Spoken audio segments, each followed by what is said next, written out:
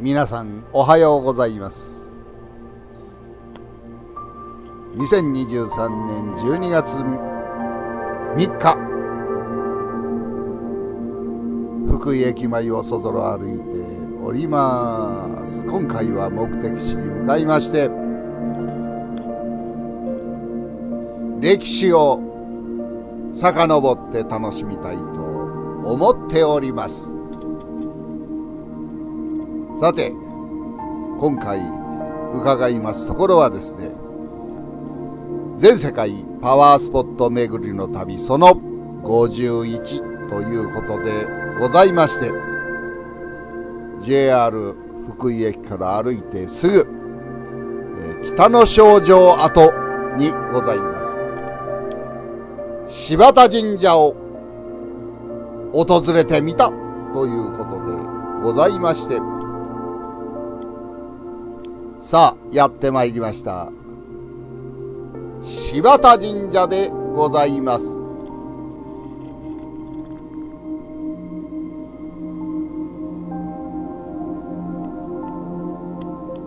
こちらの方はもともと柴田勝家公戦国武将でございますね。織田家中心柴田勝家公がですねえー、居城にしておった北の少女跡にこちらの神社はございます。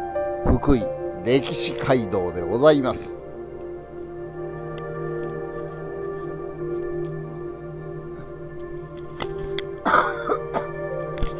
今回はですねこちらの柴田神社訪れまして歴史を皆さんと共にですね懐かしんでみようということでございます。早速柴田神社入ってみましょうか。まずはね入りましたら聖域でございます。ごちゃごちゃごちゃごちゃごちゃごちゃごちゃごちゃ言わずにお参りしましょうか。そして心を清め体を清める手水社こちらの方でお清めさせていただきたいと思います。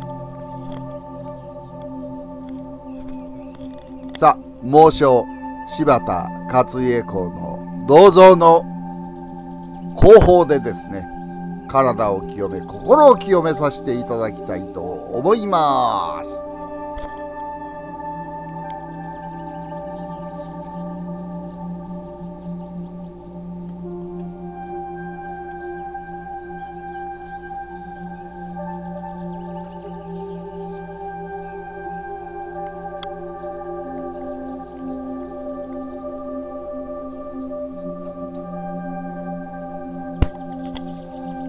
さあこちらは北の症状石垣ということでございましてね。歴史建造物でございます。さあこちらは浅井の三姉妹。そしてお石の方の銅像でございます。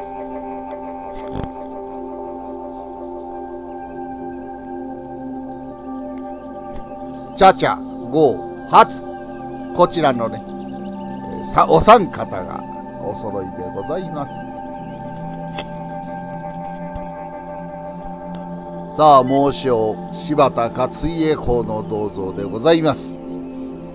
小高中におきましても猛将で知られた武将戦国武将でございます。信長公亡き後はです織田家筆頭家老ということで、えー、この北の症状を収めておったということでございます。さあ早速柴田神社お参りさせていただきます。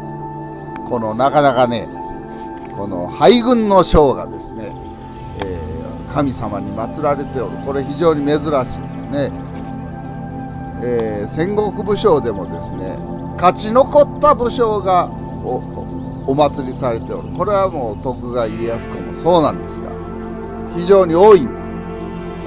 滅亡した戦国武将がですね祀られておる。これは非常に珍しいわけでございますね、えー、武田信玄公を祀る。神社はあっても武田勝頼公を祀る神社なんかはございません。あるんかもしれませんが。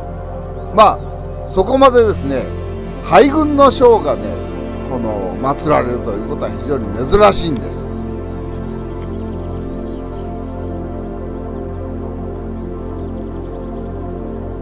さあ集中いたしまして柴田勝家公の活躍を忍んでお参りさせていただきます。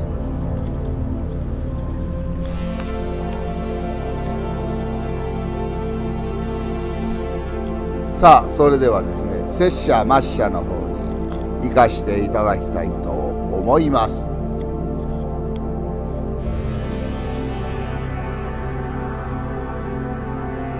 さあこちらの末社の方がですね浅井三姉妹神社でございます。これは非常に珍しい。京都と大阪の間にですね陽道殿のお祭りしてあるお寺。とこはあるんですがこの三姉妹そのものが揃ってですねえー、神社になっておる。これは非常に珍しいですね。特にお郷とねチャチャはまあ祀られてる可能性はあるんですが初とお郷がね祀られておるというのはなかなかないと思います。そういう意味で非常に珍しい神社でございます。お参りさせていただきました。さあそれではお市の方の銅像でございます。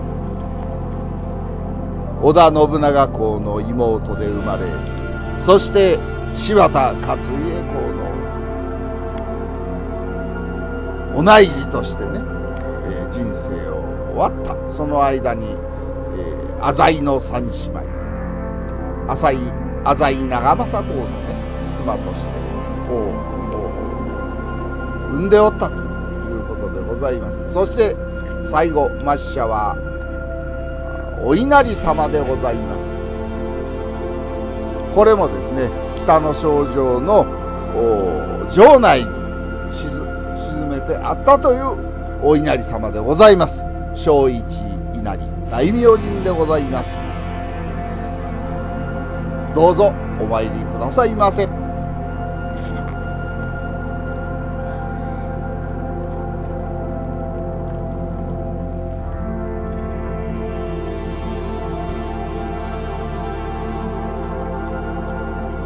最後までご視聴誠にありがとうございました。高評価チャンネル登録よろしくお願い申し上げます。大変励みになります。またご質問等はコメント欄にて残しておいてください。はいありがとうございました。